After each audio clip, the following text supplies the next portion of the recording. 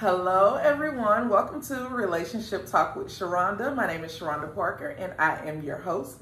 And the title of this video is called Getting Stuffed because on yesterday, I took on the challenge of getting stuffed. So let's play catch up.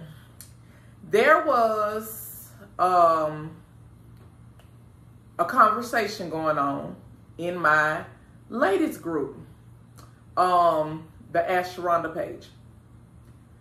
Okay, so one lady made the comment that she enjoys it when he inserts his penis and follows up by inserting his balls. She likes to get stuffed. And I was like, hold on a minute now, because I I've seen a lot of things, I've heard a lot of things. I done witnessed a lot of things. I'm not a person that just watch porn, but a lot of times when I do look at it, it's for educational purposes to try to see, you know, what the trends and stuff like that is. But I've never been a person that just really just watched a lot, a lot of porn. That just it just never was my thing. I don't know. I don't have an issue with it. It's just not anything that I that I do on a regular basis. So I was like, wait a minute, wait a minute, wait a minute. So wait a minute, it's 2021. This what we doing right now? Like in 2021, not only are we taking a dick, but we getting balls put into. Okay, how is this possible? Let me do some research. Let me see what I can find out about this.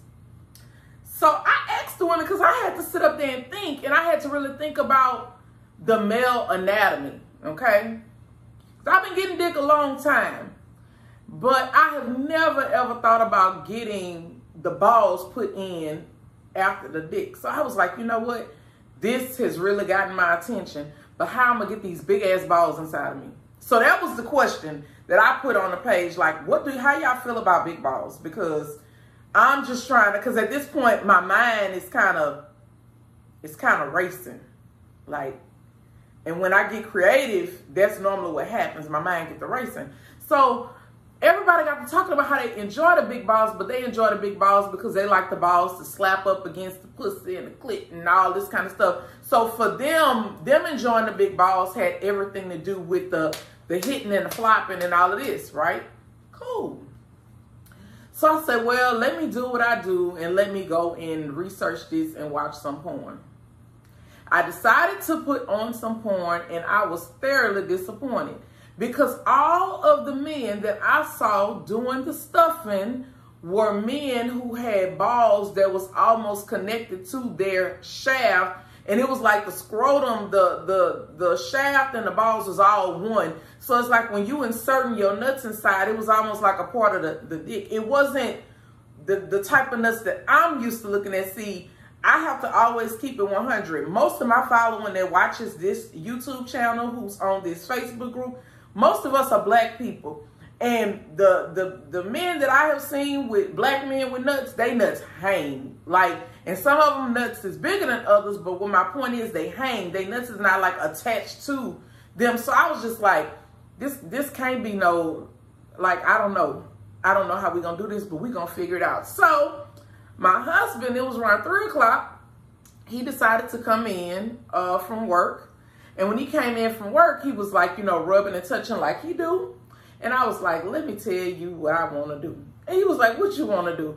I was like, I want to get stuffed. He was like, get stuffed? Like, okay, I already stuffed you with dick. I was like, no, no, no. I not only want to get stuffed with dick, but I want you to put your balls in there too. He said, where the fuck you didn't heard of this shit from? I say the young girls in the group, the, the young women say that the men uh, balls could go in there too. So then I, I even went back to the to the conversation, and the girl explained it to me. She say, Auntie Sharonda, the reason the balls could go in is because the balls be hard.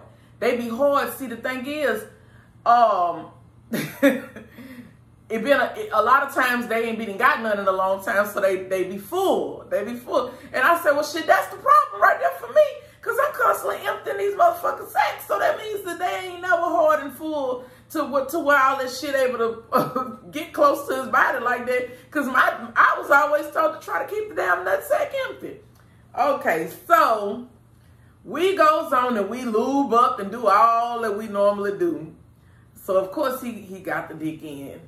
So he decides that okay, let's try to work this these balls out one ball at a time.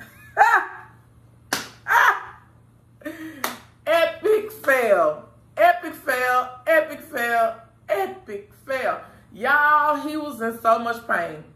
He was like, oh, like when he was pulling them balls together, to try to gather them to put away. He was like, oh, oh, wait. He was like, oh, wait, uh-uh. We can't do this here. We got to leave that shit to them young people. That, that's for them young children. And I say, you know what? I think you're right. I think it is for them young children. Because them, them young children, they be off into all kind of shit these days. They trying all kind of shit. And I say, well, you know what? I'm just to keep on stuffing, stuffing them balls in my mouth. How about that? That's how we. That's how I'm gonna stuff these balls because trying to put them balls up inside of me along with the dick, y'all, it just did not work. And my husband was in pain, y'all. He said that it was equivalent to somebody literally kicking him in his nutsack, and it it gave a pain to his stomach. He said he would compare it probably like how we experience cramps. That is exactly what he felt when he grabbed his nuts and tried to pull them together to put them inside of me. He experienced like a major cramp because he was like, ah. I was like, oh, sh oh shit. Wait, what we done done? so, y'all, that is my uh, review on this whole getting stuff. For those of y'all that do it and enjoy it, more power to you. But the Parkers have um, we figured out because one thing about it, we don't mind trying this stuff. We love to try this stuff. We know that you know what this this one here that this one ain't for us. Mm-mm, baby, this ain't for the 40 plus club because them nuts is hanging by now. They is not close up to the body.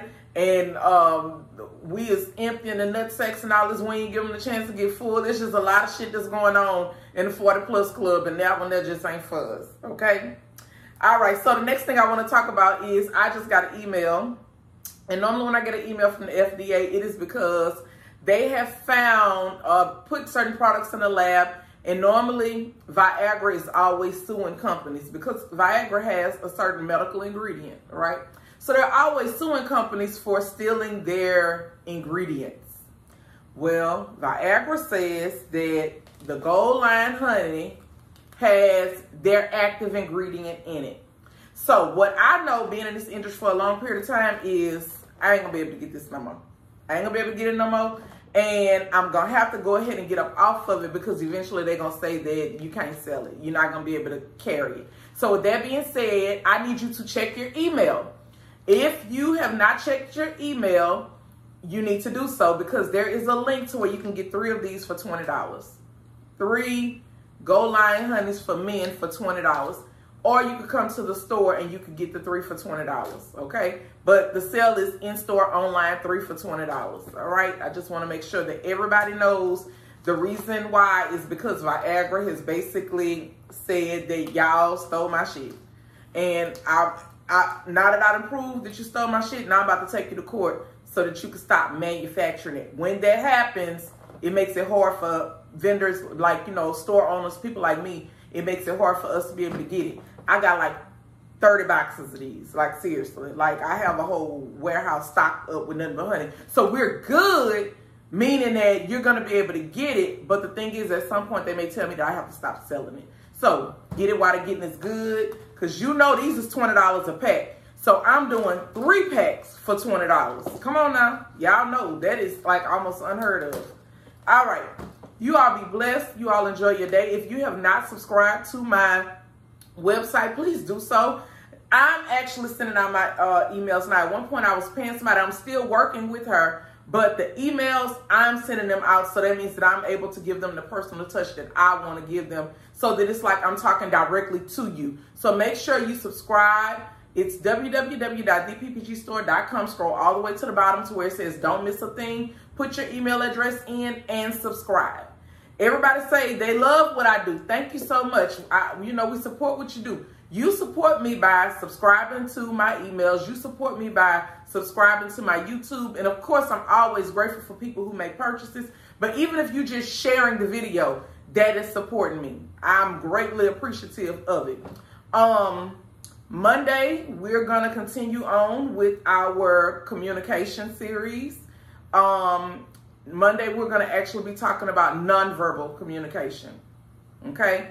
That's going to be real big because when I was doing my, uh, I, I have wife school every Sunday for the rest of this month.